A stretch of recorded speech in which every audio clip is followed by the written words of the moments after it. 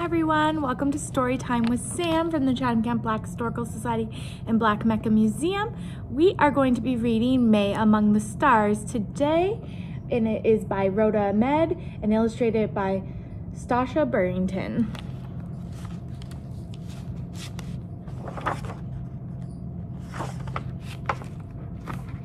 Mae Among the Stars. Little Mae was a dreamer. They say that daydreamers never succeeded, but little Mae was different. One day, Mae was working on an assignment for school about what she wanted to be when she grew up. What will you tell them, Mae? I will tell them that I want to see Earth.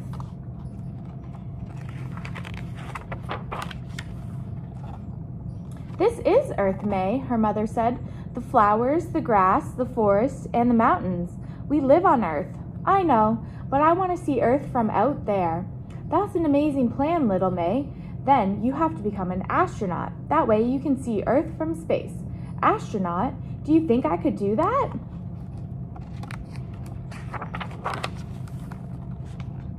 Of course you can. If you can dream it, if you believe it, and work hard for it, anything is possible.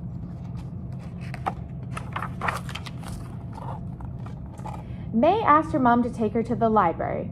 She searched for books about space and astronauts.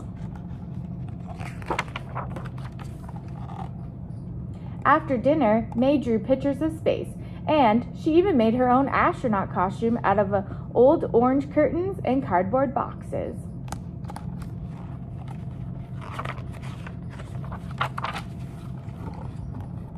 Later, she asked her dad, But how do I become an astronaut? It seems impossible. You will find your way, Mae, because if you dream it, believe in it, and work hard for it, anything is possible.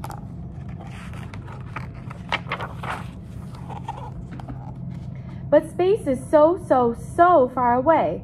It's closer than you think, little Mae, and you may get there sooner than you think.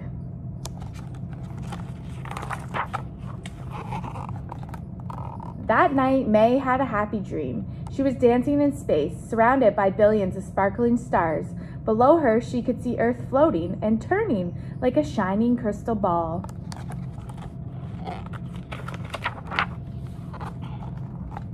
The next morning, Mae told her parents about her dream. She wanted to tell everyone, and every time she talked about it, her eyes would light up.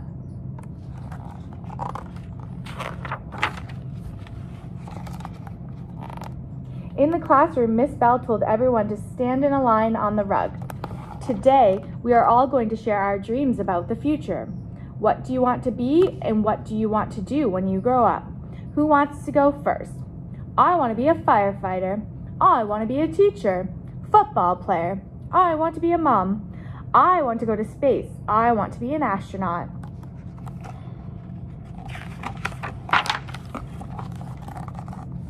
All the kids started laughing. Miss Bell asked Mae, Are you sure you don't want to be a nurse? Nursing would be a good profession for someone like you.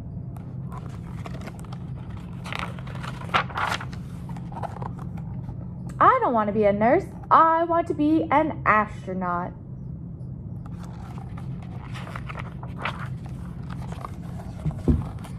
Mae felt disappointed. On her way home from school, Mae was quiet.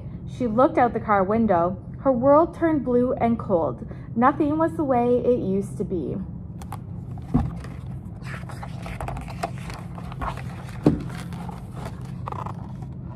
At home, Mae started crying.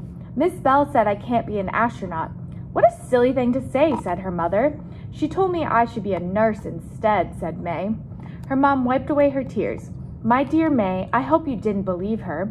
Of course I believed her. She is my teacher.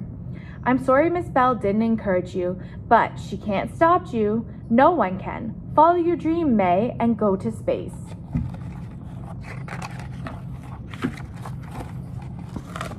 Thank you, Mom. I promise when I get to space, I will wave to you and Dad from the spaceship.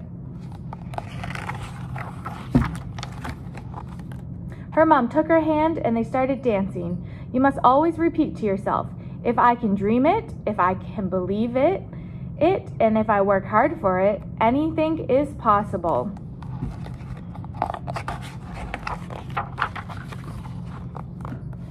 Mae went on dreaming, believing, and working really hard. And guess what?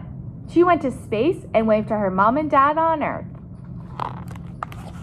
And that is the end of Mae Among the Stars. We hope you enjoyed this book.